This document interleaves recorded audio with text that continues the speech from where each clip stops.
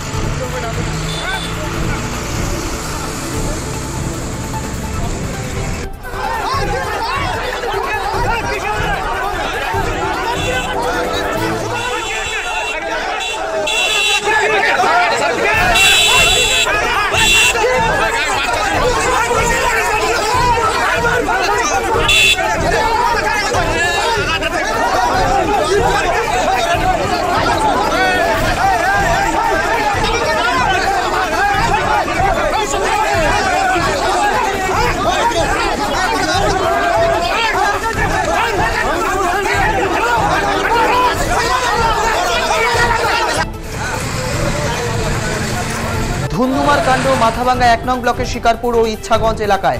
সেখানে সারের দাবিতে পথ অবরোধে সামিল হন এলাকার কৃষকরা। অবরোধ চলে দীর্ঘক্ষণ ধরে। এরপর পুলিশ ঘটনাস্থলে এসে কথা বললেও অবরোধ ওঠাননি স্থানীয় কৃষকরা। তারপর পুলিশের সাথে অবরোধকারী কৃষকদের বাঘ বিতণ্ডা বাঁধে বেশ কিছুক্ষণ। ঠিক সময়ে স্থানীয় পুলিশ এবং স্থানীয়দের একাংশের হস্তক্ষেপে শেষ পর্যন্ত অবরোধ উঠে যায়। এলাকায় ধুন্ধুমার পরিস্থিতি তৈরি হয়। অবরোধকারী কৃষকরা পালিয়ে যায়। ছবিতে দেখতে পাচ্ছেন, লাঠি হাতে কিছু স্থানীয় ব্যক্তিত্বরাও রয়েছেন যারা অবরোধকারী, তাদের বিরুদ্ধে গিয়েছেন স্থানীয় কিছু ব্যক্তিত্ব যারা লাঠি হাতে অবরোধকারীদের পেছনে তেরে গিয়েছেন। এক্সক্লুসিভলি সেই ছবি আপনারা দেখতে পাচ্ছেন ডিজিটাল বাংলার পর্দায়।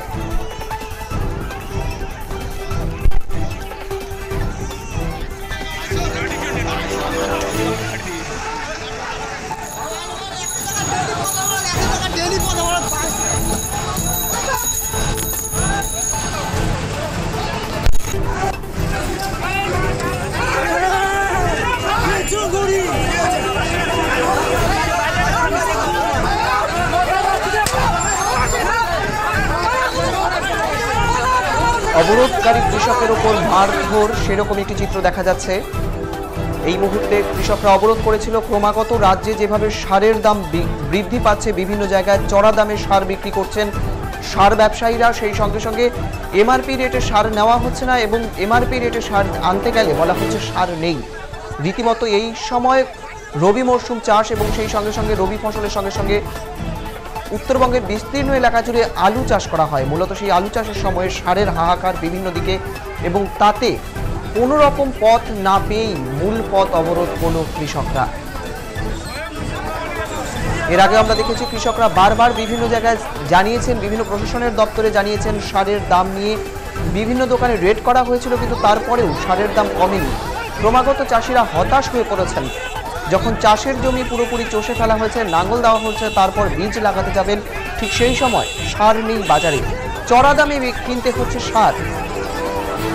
জানিয়ে রীতিমতো চাঞ্চল্যকর তথ্য উঠে আসছে বারংবার।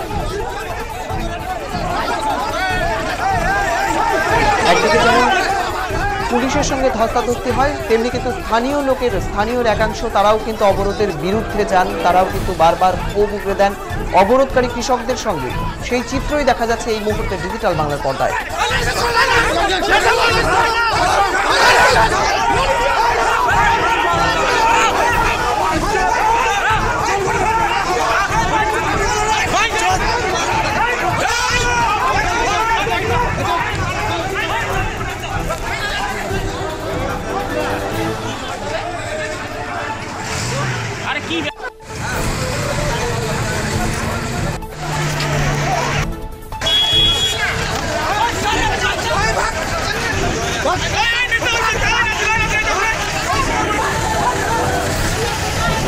পথ অবরোধকে ঘিরে ধুন্দুমার কাণ্ড মাথাভাঙ্গা এক নং ব্লকের শিকারপুর ও ইচ্ছাগঞ্জ।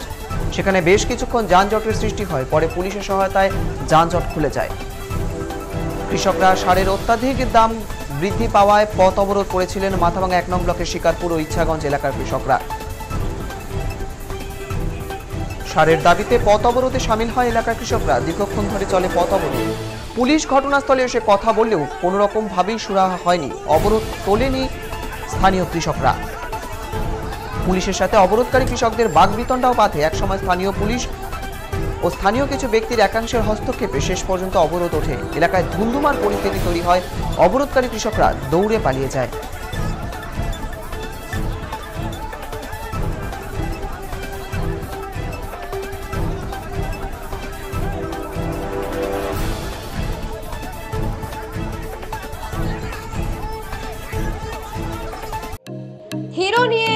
ধামাকা অফার। এখন গাড়ি কিনুন সহজ পদ্ধতিতে। পাচ্ছেন exclusive offer Xpulse two hundred T Xpulse two hundred two B Xtreme one sixty R Xtreme two hundred S ক্রয়ের ওপর পাচ্ছেন এক্সচেঞ্জ অফার অথবা লয়্যালটি বোনাস পাঁচ হাজার টাকা discount Sandeep auto lines PN road Coochbehar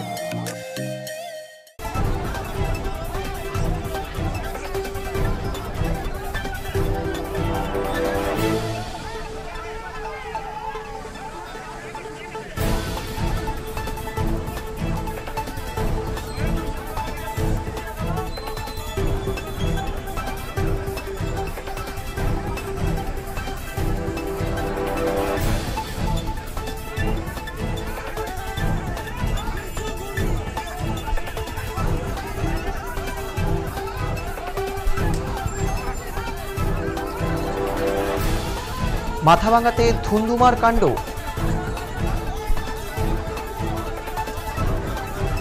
মাথাভাঙাতে ধুন্ধুমার কাণ্ড। মাথাভাঙা এক নং ব্লকের শিকারপুর ও ইচ্ছাগঞ্জ এলাকার সারের দাবিতে পথ অবরোধে সামিল হলো এলাকার কৃষকরা। আমাদের সঙ্গে রয়েছে আমাদের চিফ এডিটর অমিত কুমার দেব। অমিতের কাছে চলে যাব এই মুহূর্তে। অমিত, একটা রীতিমতো চাঞ্চল্যকর তথ্য উঠে এলো। বারবার পথ অবরোধ বিভিন্ন প্রশাসনিক স্তরে জানিয়েও কোনো সুরাহা পাচ্ছে না কৃষকরা। সারের দাম কমছে না কোনো মতেই। কি বলবে? একদমই দেখো জয় কেন্দ্রীয় সরকার, রাজ্য সরকার সবার কাছেই।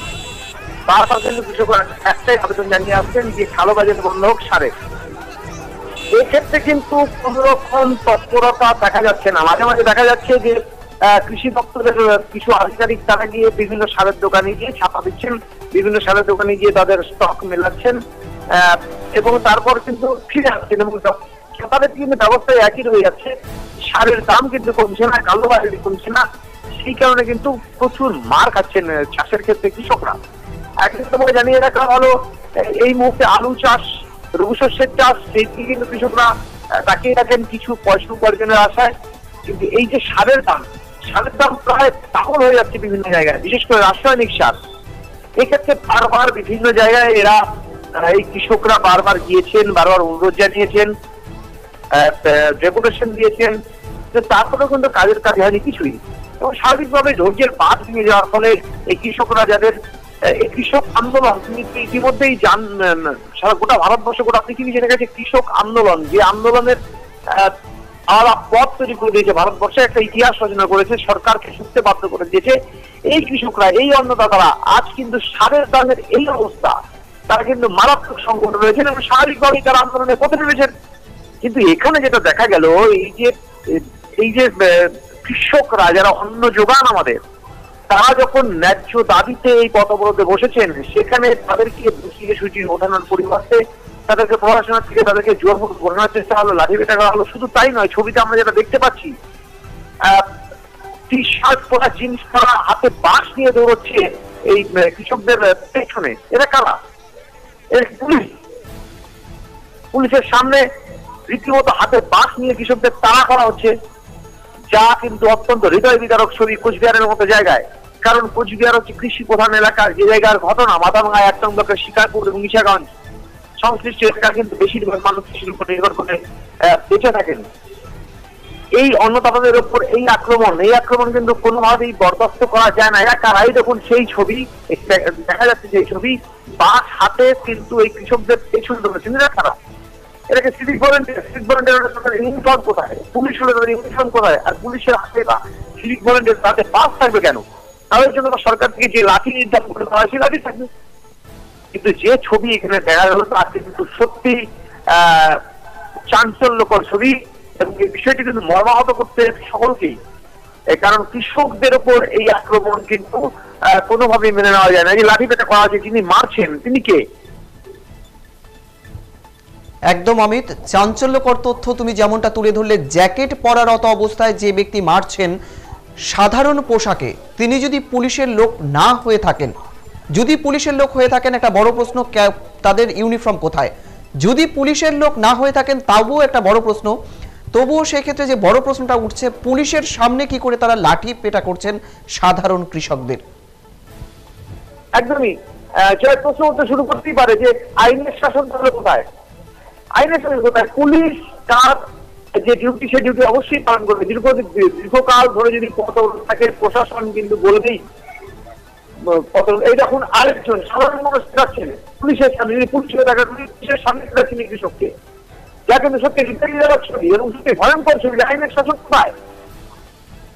পথ অবরোধ হয়ে থাকবে দীর্ঘক্ষণ পথ অবরোধ হলে মানুষের অসুবিধা হবেই। এবং সেক্ষেত্রে প্রশাসন নির্দিষ্ট ব্যবস্থা নেবে। এবং সেই নির্দিষ্ট ব্যবস্থার মধ্যে শুধু গোলাগুলি আর বন্দুক কিংবা লাঠি শেষ কথা নয় পুলিশ বুঝিয়ে সুঝিয়ে তাদেরকে তুলবে সেই অবরোধ থেকে। কিন্তু এখানে যেটা দেখা যাচ্ছে লাঠি করে করাই হচ্ছে এবং যে লাঠি দিয়ে পেটানো হচ্ছে এটা পুলিশের লাঠি না। একদম। এই দেখো সাধারণ আরেকজন মানুষ তাকে মেরে দিলেন।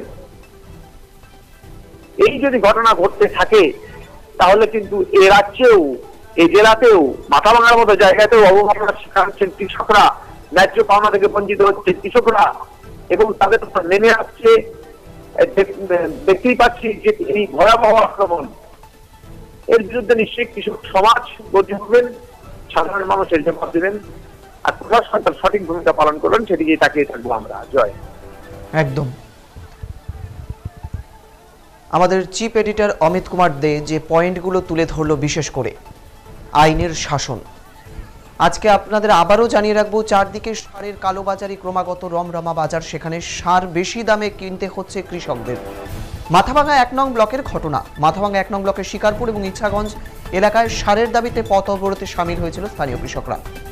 দীর্ঘক্ষণ ধরে অবরোধ চলে, বিভিন্ন অবরোধে যেমন হয়, দীর্ঘক্ষণ ধরে অবরোধ চলার পর পুলিশ এসে কথা বললেও ঘটনাস্থল থেকে কিন্তু অবরোধ ওঠাননি স্থানীয় কৃষকরা। তাদের একটাই দাবি, উপযুক্ত দামে তাদের পর্যাপ্ত পরিমাণে সার প্রয়োজন। বেশ কিছুদিন ধরে এই সারের প্রসঙ্গে কিন্তু বারবার খবর উঠে আসছে বিভিন্ন জায়গা থেকে। বিভিন্ন জায়গা থেকে কৃষকরা প্রশ্ন করছেন, এবছর তো জমি কোনো মতেই বেড়ে যায়নি। যতটুকু জমিতে গত বছর বা গত বেশ কয়েক বছর ধরে চাষ করা হচ্ছে, ততটুকু জমিই রয়েছে। তবে এতদিনে কেন সারের হাহাকার পড়ল? তারা কিন্তু কৃষকরা বারবার এই প্রশ্নটা তুলে ধরছেন। সেই কৃষকের যে দাবি, তাদের পর্যাপ্ত সার সঠিক পরিমাণে সঠিক ন্যায্য মূল্যে দিতে হবে। সেই দাবি চাইতে গিয়ে কিন্তু আরও একটি রীতিমতো চাঞ্চল্যকর তথ্য উঠে এলো মাথাভাঙা এক নং ব্লকের শিকারপুর ও ইচ্ছাগঞ্জ এলাকা থেকে। পুলিশের সামনে সাধারণ পোশাকে থাকা কিছু ব্যক্তিত্ব, সাধারণ পোশাকে থাকা কিছু ব্যক্তি কৃষকদের ওপর লাঠি সোটা নিয়ে চড়াও করছেন। দুজন ঘুষি মারছেন কৃষকদের। সরাসরি সেই ছবি আমরা দেখিয়েছি আপনাদের। এই রীতিমতো ছবি কিন্তু রীতিমতো চাঞ্চল্য করে তোলে আমাদের।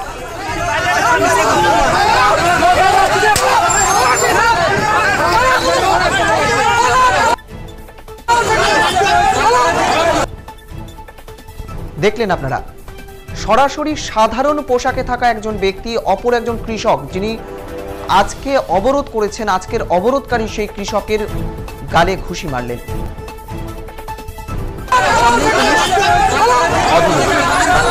ভয়াবহ এই চিত্রটা যারা অন্যের যোগান দেন, যারা অন্য সংস্থান করেন রীতিমতো চাঞ্চল্যকর একটি তথ্য, একটি ছবি উঠে এলো এই মুহূর্তে ডিজিটাল বাংলার হাতে। সেই ছবি আমরা সরাসরি তুলে ধরলাম আনকাট হিসেবে আপনাদের সামনে।